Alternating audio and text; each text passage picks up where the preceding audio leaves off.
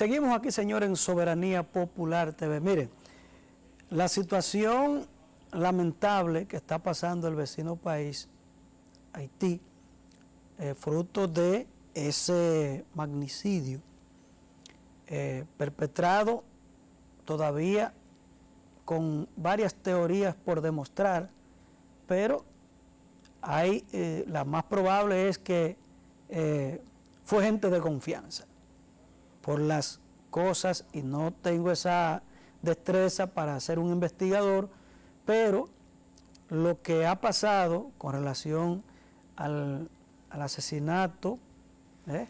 perpetrado hace alrededor ya de, de, sí, una semana casi ya, el presidente Jovenel Mois, recuerdo que en febrero o abril febrero o abril, el presidente Mois dio una entrevista al periódico El País de España y decía de que temía por su vida, eh, que habían empresarios específicamente eh, del sector de las telefónicas, del sector eh, de la energía eléctrica y otros sectores lo que cuando tuve acceso a ese, ese trabajo hecho por el periódico español, determiné ahí, mismo lo que todo el mundo ya conocía, eh, crónica de una muerte anunciada.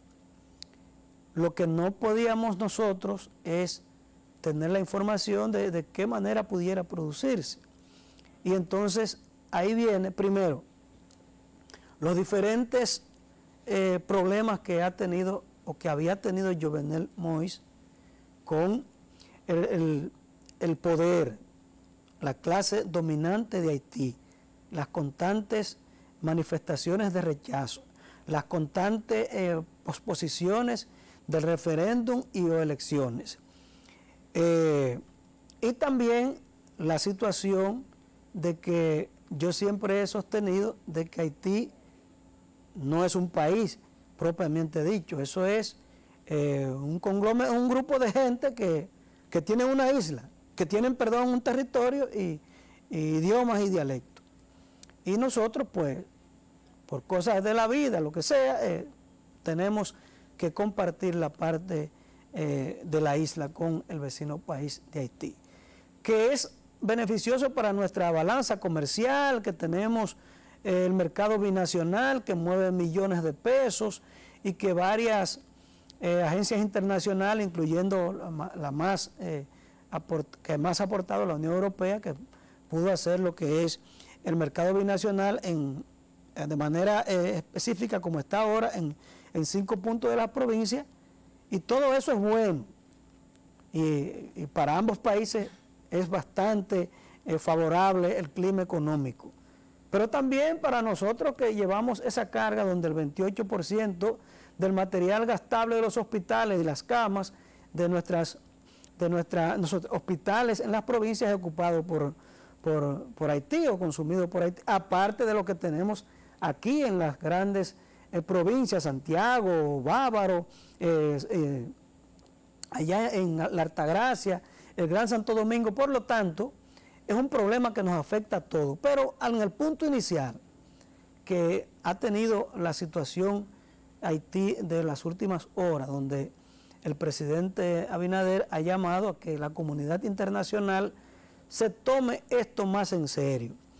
Y yo me, preocupé, bastante cuando se tocó el tema en la ONU que República Dominicana no fue eh, invitada o fue, no fue tomada en cuenta. Señores, todo lo que vaya a pasar en Haití tiene que ser informada República Dominicana. Y lo digo porque la cercanía, tenemos frontera, la, infraestructura aeroportuaria que usaron, por ejemplo, para el, caso del, terremoto del 26 de enero del 2010. ¿Dónde fueron? Cuando ha habido problemas eh, en el vecino país ¿Dónde eh, buscan los refugios, las cosas? En República Dominicana. Entonces, desde que creo que Leonel Fernández, la primera vez que fue presidente, en el periodo 96-2000, hasta el hoy presidente eh, Luis Rodolfo Abinader, eh, Leonel, Hipólito, Danilo, Luis Abinader, todos han querido en todos los escenarios posibles alzar la voz para que la comunidad internacional acuda en ayuda de Haití. Y nosotros, que aunque usted eh, a veces diga ah, que vino la Minustap, e hicieron tal cosa, y para acá y para allá, hicieron... Señores, la carga más grande la llevamos nosotros. Y lo digo por el asunto de la frontera, y tuvimos que hacer, señores, eh, buscar de donde no hay para crear hasta un plan de regularización que después se comercializó y se hizo de todo. Entonces, este caso haitiano ahora, que ya uno creía que era época superada, señores, quitarle la vida a un presidente, eso no es un juego de niños, eso tiene que haber una componenda de arriba hacia abajo, porque no es verdad que van a venir, por ejemplo, los colombianos, que son los que están en la mirilla, de que yo voy a ir a, a, ¿cómo se llama el barrio famoso de Haití? A Pechonville. Voy de, Bogotá a, Pechonville y ahí me instalo en una casa y perpetro ese horrendo eh, caso como el de Haití. Señores, eso hubo componenda a todos los niveles, políticas, empresariales y hasta internacional, diría yo. Hasta eso. Porque el caso del médico, que hasta de, colofón, de que cuatro placas dominicanas le encontraron. Usted ha visto eso, pero yo creo que hay que ver las condiciones, si tenía vehículos a su nombre, si, si pudo obtenerla. Ahora, lo malo sería que se demuestre que esas placas fueron para pasar a Haití, eh, contrabando de armas, trata de personas, lo que sea ahí sí es un caso grave. Por eso creo que en el caso de la investigación final que arroje esto del, asesinato del presidente Jovenel Mois, pues cuando los organismos internacionales, como el caso de, Unión Europea y ese tipo de cosas, y también los cuerpos de seguridad como FBI, eh, eh, la inteligencia de Colombia, que ha estado muy de cerca en esto porque son sus ciudadanos, en principio, que donde ha girado e, esta situación. Por lo tanto, por lo tanto, el caso de Haití es muy lamentable para la región. El caso reprochable eh, a todos los niveles, pero también la complicidad que se ha dado en lo que es el, entramado de poder. ¿Cómo es posible que, que el jefe de seguridad del presidente Jovenel Mois, eh, viajó a, creo que a Panamá, eh, fue a, Colombia, su jefe de seguridad, cuando se supone de que esa persona, no digo que no tenga derecho a viajar porque es un ciudadano eh, común, ¿verdad? común como persona, pero esa persona tiene que estar en, su lugar, cuidando al presidente, y si se mueve tiene su protocolo de, de, aquí, se mueve aquí. Entonces, esa persona que estamos viendo ahí, que bastante joven es aparentemente, está siendo investigado. Está siendo investigado porque, al igual que algunos senadores, y también, señores, algo muy importante, ¿a quién beneficia el crimen? ¿Quién pudiera beneficiarse?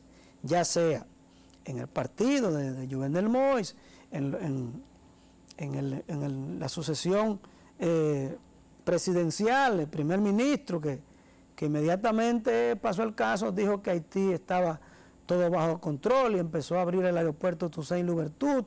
Y se demuestra de que el último tuit del presidente Jovenel Mois, eh, o uno de los últimos tuits, precisamente era eh, destituyendo al señor primer ministro que hoy está a la cabeza de esto. Fíjense a ver que Haití es una situación tan difícil, con una debilidad institucional, que nombraron, creo que fue el presidente del Senado, había una persona que ya el presidente había nominado como primer ministro y todo se ha quedado igual.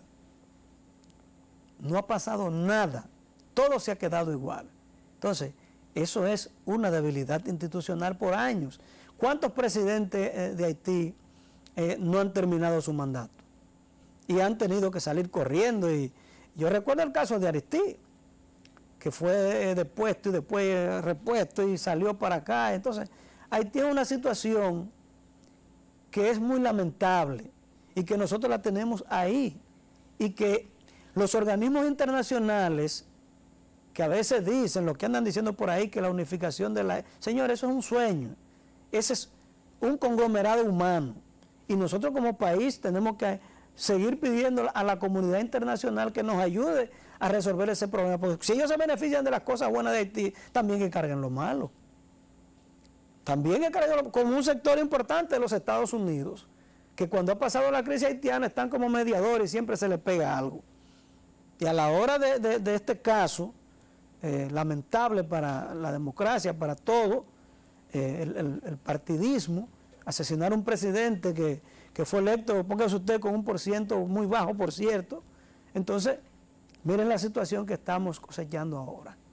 Yo espero que en los últimos días empiece a dar luz esta investigación con un hecho tan lamentable para el mundo como es el asesinato del presidente Juvenel Moïse. La primera dama, tenemos que cruzar los dedos para que se mantenga con vida, que dicho sea, sea de paso, fue operada recientemente y esperamos que todo salga bien, porque ella es una pieza clave, al igual que los hijos, que pudieron salvarse de, creo que ayer fue una entrevista que dio un hijo, no sabemos si él estaba en el lugar, hay uno que estaba ahí y se refugió, se refugió en la habitación de una hermana. Yo creo que esta parte con relación a la salud de la primera dama haitiana puede eh, arrojar luz a lo que está eh, latente con relación a esta investigación, que ojalá, ojalá que los organismos eh, a los que pidieron ayuda, el caso de, del FBI, como materia investigativa, con, con varios casos, con experiencia, puedan dar luz a lo que es este horrendo asesinato del presidente haitiano. Yo creo que nosotros que precisamente en el día de hoy, por la, situación que está pasando Haití, que abrieron la frontera para pasar alimentos y, gas eh, GLP, que su, economía, sus problemas no le permiten tener ese tipo de, cosas. Si lo tienen, pudiera verse para un tema eh, eh, clasista o, para una parte que por, la distancia lo adquiere en, en, alguno de los puntos fronterizos. Y además, el intercambio comercial que tenemos nosotros con eh, tanto los mercados de, lunes y, y, viernes y también lo que eh, el transporte, porque hay compañías de transporte binacional, por lo tanto, ya esta parte se ha ido eh, normalizando. Nosotros lo que queremos es que tengamos lo más rápido posible esta, esta ¿qué, ¿qué, pasó? ¿Qué pasó? Y todo indica, y con eso termino, señor, este punto, de que fueron eh, el círculo de poder, ahí, incluyendo eh, los que están detrás de, él. Eso, ese hecho no hubiese sido posible si no es con la componenda de arriba abajo y más con gente ahí cerquita, como dicen ahí, a boca de jarro. Es lamentable que épocas que uno cree superadas o creía superadas estén todavía en pleno 2021. Eh, Vamos a una pausa, señores, no sin antes decirle que Vial Gas es el gas que rinde más. Vial Gas está ya en la Presidente González, eh, servicios a domicilio, también llamando al 809-699-1953, Vial Gas, si tiene eh, cafetería, si tiene eh, restaurante, los apartamentos, ahora esas torres gigantes que hacen, si quieren un, cilindro de gas de esos gigantes para no tener cada uno que salir al, llenado, particularmente Vial Gas le suministra ese tanque a domicilio. Vía al gas 809-699-1953. 1953. Allá está la Bella Yuberqui, así que llame a Vialgas ahora mismo y tendrá su solución al dedito ahí a la mano.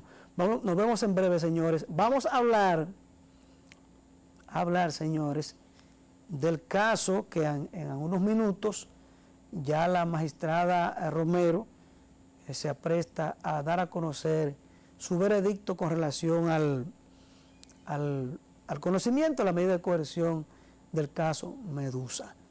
Así que nos vemos en breve aquí en Soberanía Popular.